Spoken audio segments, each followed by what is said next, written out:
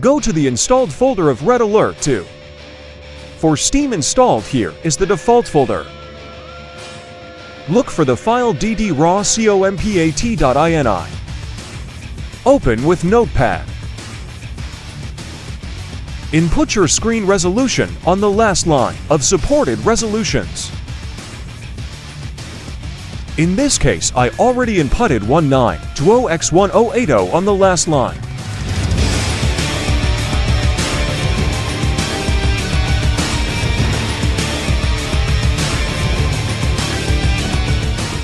Save your edited file.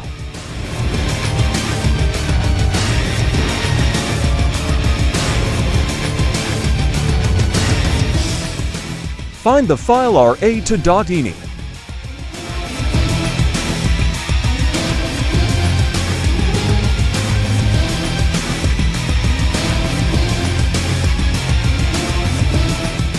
Open with Notepad.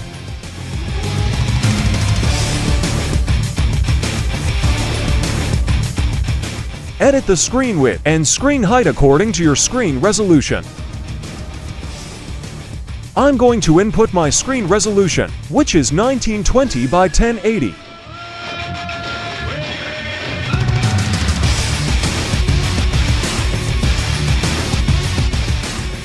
Save your edited file.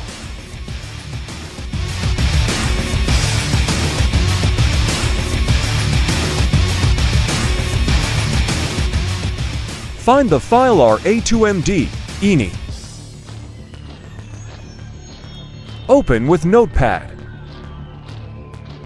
Do the same steps as RA2.ini. Edit the screen width and screen height according to your screen resolution. Save your edited file.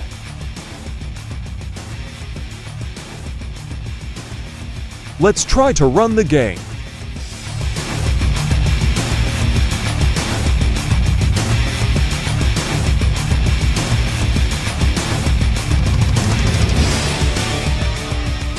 Don't worry if the menu screen becomes too small.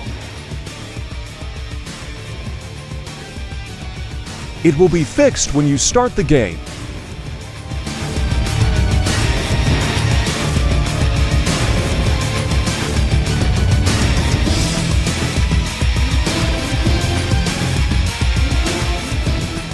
Congratulations! Enjoy playing Red Alert 2 in Full HD. Like and subscribe if this video helped.